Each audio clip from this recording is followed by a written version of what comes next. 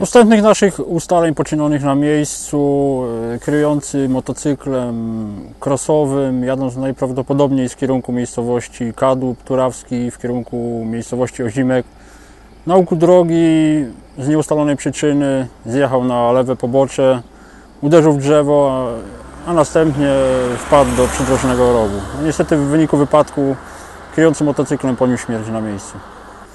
E, kierujący został znaleziony przez e, przypadkowe osoby, które tędy przejeżdżały, gdyż no, rów jest porośnięty wysoką trawą.